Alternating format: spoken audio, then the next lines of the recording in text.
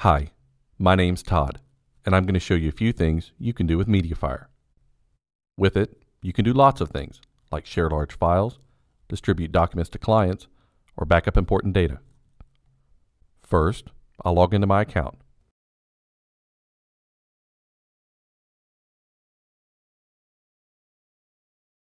Great.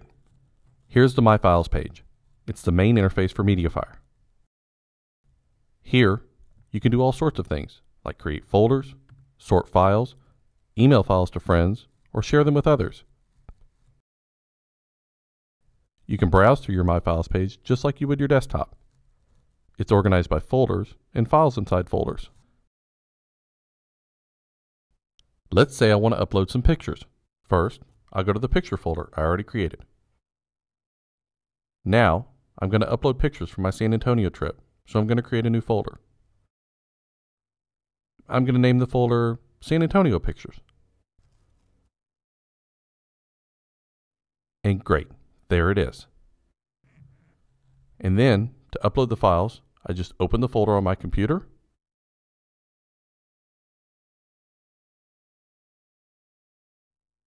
And drag them onto the current page.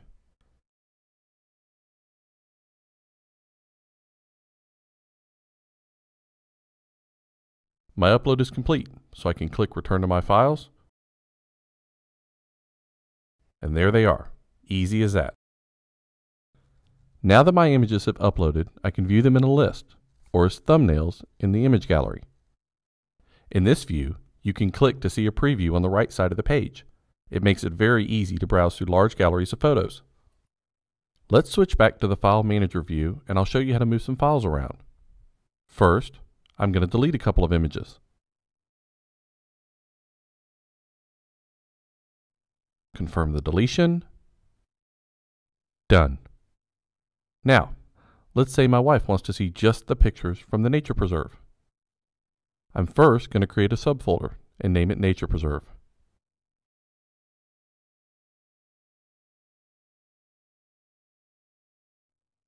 Select three files now it shows me the three I've selected, and I'll drag them over to the new folder and drop. Clicking onto the folder takes me into it. And there you go. Inside the folder, I have the pictures I just moved. Now let's say I want to send the pictures to her. I can share them in several different ways, including instant message, email, or I can post them on Facebook or Twitter. In this case, I'm going to email them so I'll drag the folder onto the email icon and type in her address.